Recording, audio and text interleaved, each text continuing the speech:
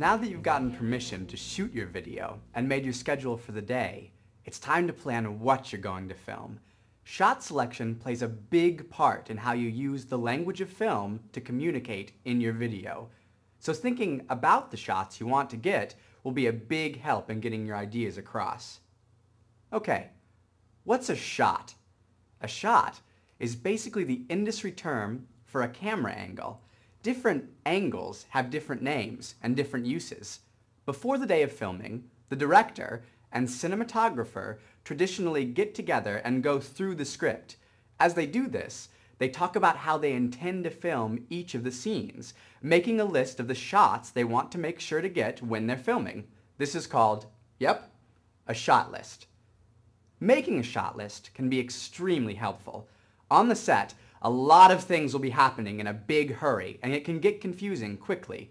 Planning the shots you want to get will help ensure that you're covered each of your scenes.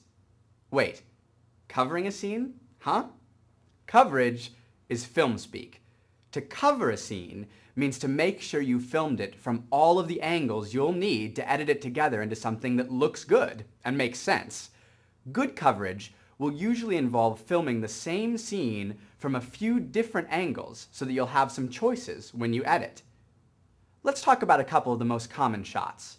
The three basic shots are called close, medium, and wide. This is what they look like. This is a close shot. See how much of the frame I occupy? Now let's compare that to a wide shot. Hey out there! This is a wide shot. Notice how much more room there is in the frame. Talk about your wide open spaces. If you begin a scene with a wide shot, it's called an establishing shot because it establishes the new location by showing you a big, wide view of it right at the beginning. It's another way to help your film make sense by giving the audience visual clues. In between these two, we have a medium shot, like this. Regardless of whether you use the zoom or reposition the camera, close, medium, and wide shots imply a distance between the viewer and the subject. It's up to you to determine how you want to use that proximity to tell your story. There are a lot of implied meanings associated with certain types of shots. Let's try what's called an up angle or worm's eye shot. See? Positioning the camera on the ground looking up at the subject lets the subject tower over you. This can make your subject seem powerful and larger than life. The opposite is true of a down angle, also called an overhead or bird's eye view. Placing the camera above the subject, looking down on them, makes them seem smaller and less significant. More than likely, you will sometimes want more than one character on the screen at the same time. This is called a two-shot, and it's your basic shot for dialogue between two characters. A two-shot can be two people facing each other in profile, looking over the shoulder of one character at another character, or anything else where both are on the screen at the same time. You may not always want both characters on the screen at the same time, but you can still imply they're in the same space using a technique called shot, reverse, shot. Shot, reverse, shot is actually a pair of two different shots that get cut together. If in one shot, character A is looking off to the right, and in the second shot, character B is looking off to the left, you can imply that they're looking at each other. This is a great way to get around a scheduling nightmare. If your leading lady is running late, but your leading man has to leave in 10 minutes to get to his soccer game, and you still haven't filmed that important conversation they have in the hall, you can make it seem like you have them both in the same place with shot reverse shot. Just shoot all of your leading man's lines with him looking in one direction. When your leading lady gets there, you can film her saying all of her lines looking the other way, and then cut them together. Everyone watching the movie will assume they were together all along. There are lots of other shots you can use, but the main idea is this. Be aware that certain shots can subconsciously communicate ideas to the audience, so be sure to choose your shots carefully. When you're planning your shots, you obviously have lots of choices.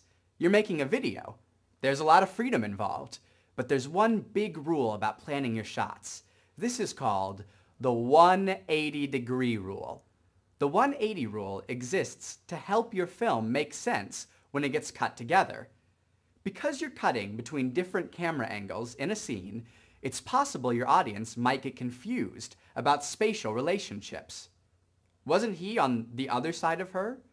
I thought he was pointing at Jim, not Sarah. That kind of thing. It's a lot of information for a brain to process. So to keep your audience from being disoriented, you have the 180 rule. Simply put, if two characters are in a scene together, no matter where you move the camera or what angle you cut to next, the same character should always be on the same side of the screen. The best way to learn the 180 rule is with an example. Here is an overhead view of your set. Here are your actors, and here is the camera. This is the 180 degree line. In your first shot, you're looking at character A in the foreground on the left who is waving at character B in the background it will look like this. Now, you want to get closer to character B. You could put the camera here, and the shot would look like this. Now, let's cut between the two of them.